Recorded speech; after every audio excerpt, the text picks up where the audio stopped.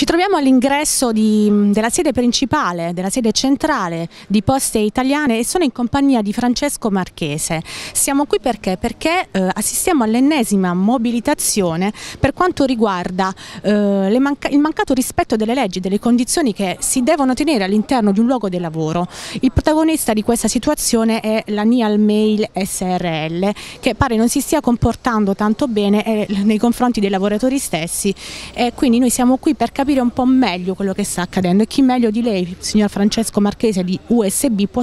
in qualche modo chiarirci che cosa sta accadendo. Sì, oggi noi siamo in sciopero con le lavoratrici e i lavoratori della Nial Mail di Taranto, l'ennesima mobilitazione questa volta davanti alla sede centrale di Poste Italiane per denunciare pubblicamente la, il sistema distorto di appalti, subappalti e società satellite che caratterizza tutta la vertenza dei lavoratori Nial Mail e che chiama in causa direttamente proprio Poste Italiane come committente e proprietaria del marchio Keypoint sotto la cui insegna opera a Taranto Uh, appunto la Nial Mail e che il sistema che ha consentito in questi anni di alimentare quella condizione di precarietà, ipersfruttamento e negazione dei diritti che tutt'oggi subiscono i lavoratori della Nial Mail di Taranto a spese dei contribuenti pubblici perché parliamo di commesse pubbliche per l'appunto. Ma naturalmente oggi siamo in sciopero anche per protestare contro l'ingiusto licenziamento di Ines Marino la lavoratrice che alla vigilia di Natale è stata messa alla porta dalla Nial Mail con una contestazione del tutto infondata, basata su una inesistente segnalazione da parte del Comune di Taranto, la cui inesistenza abbiamo accertato tramite il comandante stesso della Polizia Municipale, il colonnello Matichecchia, e che maschera l'unica vera colpa di Ines Marino, cioè quella di aver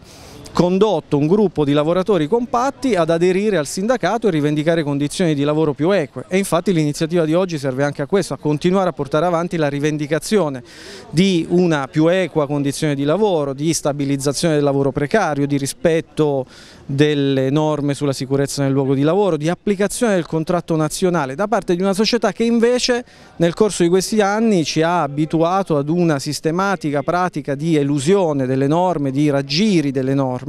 come per esempio il ricorso a svariate società satellite che operano tutte all'interno degli stessi locali aziendali e che servono per spostare tra loro i lavoratori mantenendoli in una condizione di perenne precarietà.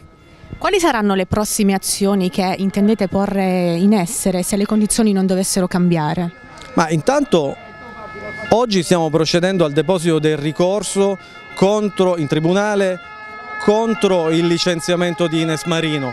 nei giorni scorsi, nelle settimane precedenti abbiamo tenuto presidi davanti a Palazzo di Città, l'altro grande committente, il Comune di Taranto di questa società che ci ha informato proprio nei giorni scorsi tramite il direttore generale, il dottor De Carlo, di tutta una serie di iniziative che stanno ponendo in essere per stringere il cerchio dei controlli intorno a questa società.